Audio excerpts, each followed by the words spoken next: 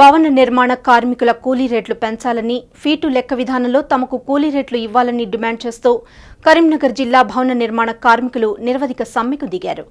తెలంగాణ రాష్ట్ర వ్యాప్తంగా ఇరవై ఆరవ తేదీ నుండి నిరసన దీక్ష కొనసాగిస్తున్నామని కరీంనగర్ జిల్లా భవన నిర్మాణ కార్మికులు తెలిపారు. కరీంనగర్ కలెక్టర్ కార్యాలయం ముందు ధర్నా చేసిన కార్మికులు మాట్లాడుతూ కేంద్ర రాష్ట్ర ప్రభుత్వాలు భవన నిర్మాణ కార్మికులకు ఉన్న హక్కులను కాలరాస్తోందని మండిపడ్డారు. కార్మిక చట్టాలను అమలు చేయాలని కోరారు. బిల్డర్స్ కాంట్రాక్టర్స్ భూస్వాములు భవన నిర్మాణ కార్మికుల శ్రమను దోచుకుని తమకు తగిన పారితోషికం ఇవ్వటం లేదని ఆవేదన వ్యక్తం చేశారు.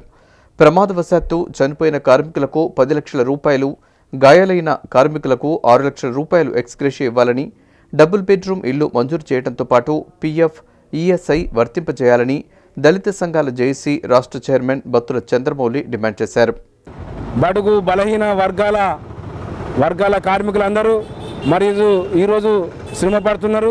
రాష్ట్ర ప్రభుత్వం మాకున్నటువంటి కార్మికులటువంటి హక్కులను మరి రాష్ట్ర ప్రభుత్వం కానీ కేంద్ర ప్రభుత్వం కానీ అమలు చేయాలని డిమాండ్ చేస్తూ అదేవిధంగా కార్మికులకు మరి వర్క్ చేసే బిల్డర్స్ కానీ అదేవిధంగా పెద్ద పెద్ద పెత్తందారులు కానీ భూస్వాములు కానీ మా పొట్టును కొట్టి మాకు వేతనాలు పెంచకుండా మమ్మలను దోచుకుంటున్నారు.